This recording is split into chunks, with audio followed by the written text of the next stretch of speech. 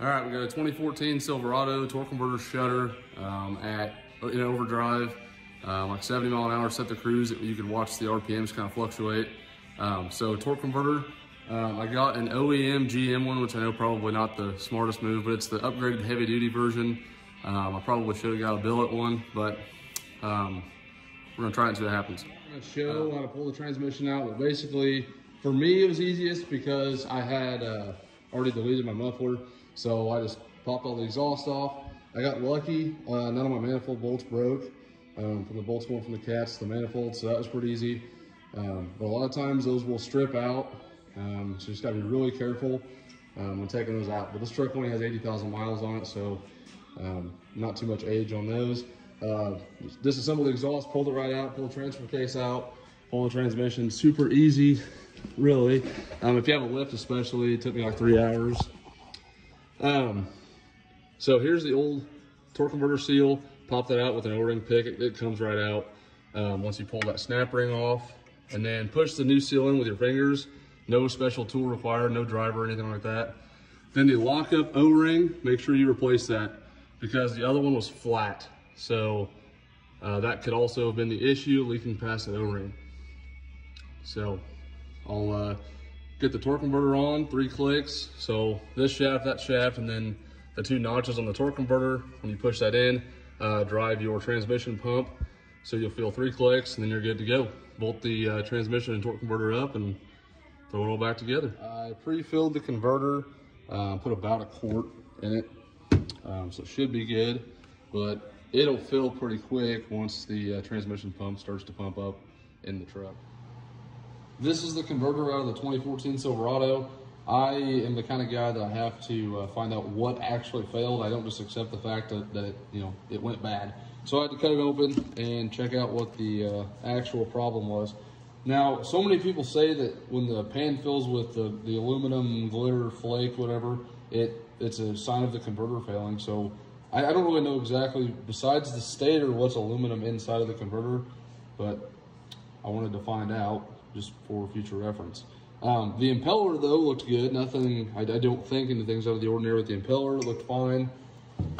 And the stator, I don't know that it's perfect, honestly. I think that some of the aluminum that I had found in my original filter I cut open was from these fins. It kind of like eroded. And I'm not sure if that's a common failure. I'm not sure if people really know about this or if I'm just kind of overreacting, but some of these fins are, eroded. There's, there's pieces of aluminum kind of just missing. I'm not sure that that's from anything or just a poor casting from the factory, which I, I would assume that's probably what it is. Um, you can tell some of the uh, casting there is just not very good quality, but I, I don't know if that is an issue, but there was some cast aluminum in my original filter that I had cut open. So I assume that's probably where it's from but I, I don't know exactly. But what I really wanted to find out is how the lockup clutch like actually works. I, I, watched like a ton of YouTube videos to try to see how the lockup clutch works, and people usually just talk about it, but they don't show you, and they don't really actually. They just talk about how yeah the, the uh, clutch applies and blah blah blah. Well, I, I kind of want to know like how it really works, so I figured it out myself. Um, there is an O-ring that can fail, but you're not going to replace it. But that O-ring right there on the turbine housing, this is flat. Like that actually is completely flat. So I, I that could be a potential for failure. That may have be, been what failed. Um, the O-ring for the lockup on the shaft that splines with this was also pretty flat. So I, I, I think maybe the O-rings maybe had some leakage past them. Um, but the clutch, I'll show you in a second, is, is bad. Um, the actual lockup clutch has failed. But I wanted to show you that this all moves as one piece. When, when the lockup happens, um, so there's, there's pressurized oil coming into the shaft, and it's always disengaging the lockup clutch until the uh, transmission control unit tells it to send oil to the clutch to engage the clutch. So once the lockup clutch actually needs to become engaged, the oil that's kind of forcing it off of its seat will retract back to wherever, and then it kind of reverses the flow and this becomes one big piston basically because these are splined together. So this is splined, um, your turbine housing is splined to your lockup clutch. So they're gonna spin as a direct drive.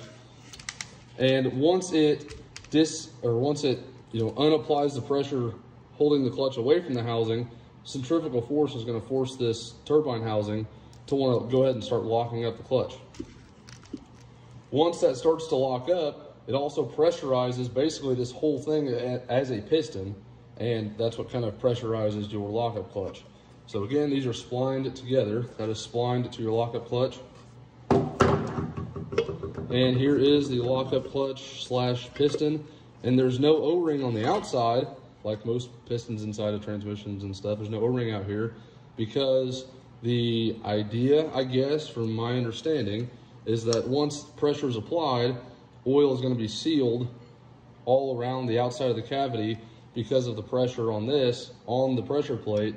It's acting as a seal and a clutch at the same time, if that makes sense. So this clutch was not like completely bad yet, but it was, like I said, the clutch or the truck was shuddering it on an overdrive and whenever the converter would lock up, I could feel just a, a slight shudder. And most people probably wouldn't notice it, but I'm kind of OCD about my stuff. And if you notice, this clutch is like flaking off in my fingers. So I can peel it off with my fingernails and that's not supposed to be like that. And this clutch is not supposed to be black either. It's supposed to be like the tint of transmission fluid, like a dark red. So that is a major issue. And what kind of happened also is I assume that the uh, backing plate or the back of the torque converter. You know, this was all one piece. I cut it with a grinder. The backing plate has warped, um, or I mean, whether it's warped or not, the clutch has slipped on this. And when the clutch has slipped, it created a bunch of heat. And I assume this is warped because like one side of this, like right over here is like shiny like a mirror. I don't know if you can really tell in the video. Other side is really, really grooved up. So you can tell the clutch has been slipping you know, maybe not for a really long time. It, maybe it just kind of started slipping recently, but I think I caught it right in time. And, you know, that's, that's kind of what I figured out here. So the O-ring um, on your shaft that goes through your turbine housing, the small ID O-ring, that's sealing um, disengagement. So when, when the lockup clutch is being disengaged, there's pressurized oil on, on you know, this on this side of the clutch disc and it's holding it away. And then once the truck, you know, once the controller send or tells the uh, valve body to send oil to engage the lockup clutch, um, the oil holding this apart is going to retract and go to sump. I assume, I don't really know that part, but go to sump. And due to centrifugal force of this, of your turbine housing that is splined to your clutch disc, it's going to force the disc to begin um, matching the speed of your backing plate. And then of course the lockup solenoid sends your pressure to this, basically a piston now is what this is acting as. The whole back, the whole cavity is pressurized and holding your piston against the backing plate. So I didn't really understand how a torque converter, I mean, there's a ton of good videos on how torque converters work, the actual functionality of the converter itself, but there's not, well, I haven't come across any good videos of how the lockup clutch actually works. People talk about them, but don't, it doesn't seem as if they actually know what is going on, but I like to just figure things out. So I think I figured it out.